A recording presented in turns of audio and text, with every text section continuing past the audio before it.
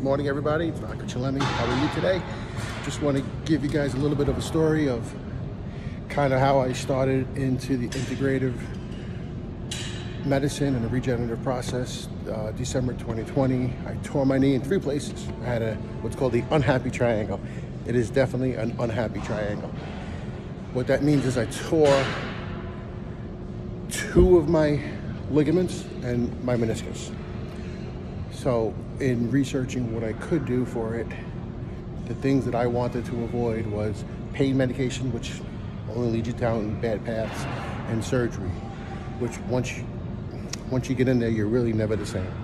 So I found PRP therapy and human cellular tissue product therapy, and I had tremendous success with it.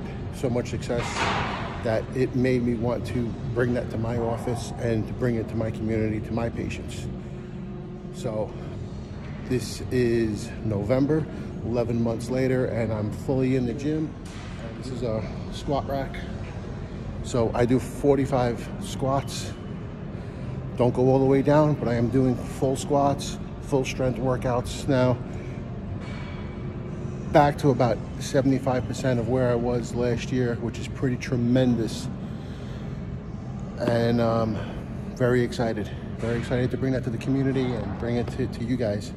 So I, I hope you guys will, well, if you have problems like I had, bad knees, arthritis, joint um, ligamentous tears, um, feel like you have no hope or you have bone on bone and the only option is surgery, come on down, take a look at the office.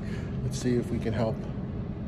We helped a lot of people already and we're looking to help a lot more. It's, it's my way of giving back. It's, it's, it's what helped me, so I want to help others. Have a great day.